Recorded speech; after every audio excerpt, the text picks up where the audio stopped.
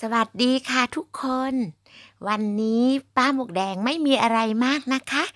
แค่จะพาเพื่อนๆ มาผ่อนคลายกับสนามหญ้าหน้าบ้านของป้าหมวกแดงกันค่ะ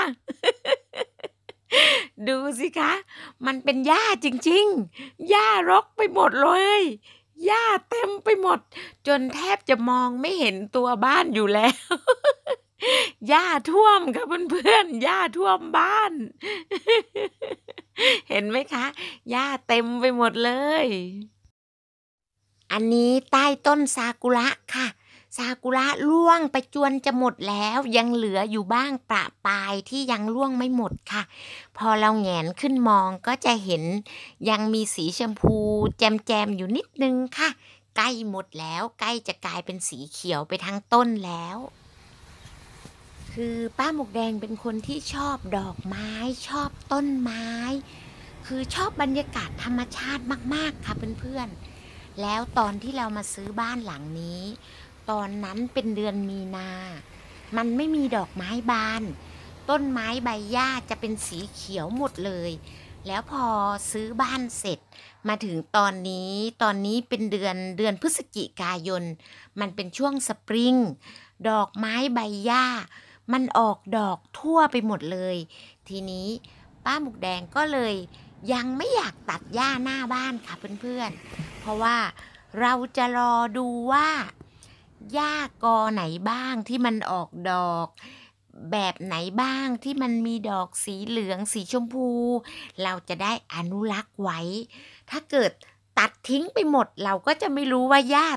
กอไหนต้นไหนมันออกดอกค่ะเพื่อนๆ ก็เลยยังไม่ตัด ก็เลยปล่อยให้หญ้าขึ้นรกเต็มหน้าบ้านไปก่อน ฝรั่งข้างบ้านก็มองมองๆเขาก็คงงงว่า เอ๊ะ เอเชียนทำไมไม่ตัดหญ้าวะ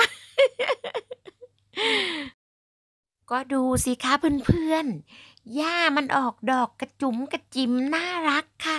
สีเหลืองๆเต็มไปหมดเลย จะให้ตัดทิ้งได้ยังไง ป้าหมวกแดงเสียดาย ต้องให้มันออกดอกให้แก่เต็มที่ พอดอกแก่แล้วเขาจะแห้งเป็น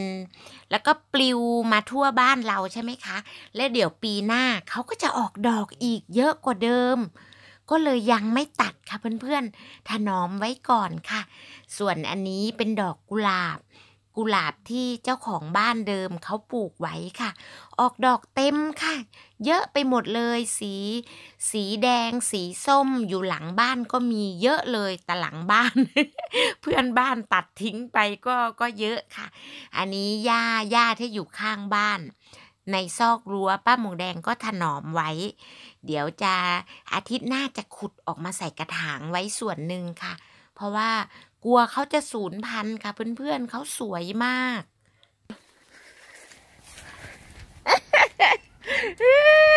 ขำไหมแม่อุ้ยนกแก้วดาลิงจิ๊บจิบจิบนกแก้วค่ะเพื่อนๆ บินมาหลังบ้าน ตอนนี้เกาะอยู่ที่รั้วสังกะสีค่ะ ตัวเบลเลอร์เลยค่ะ เห็นไหมคะ นกแก้วสวยมากเลย คลิปนี้พอแค่นี้ก่อนนะคะเพื่อนๆ ขอบคุณมากๆค่ะ เจอกันคลิปหน้านะคะ บ๊ายบายค่ะ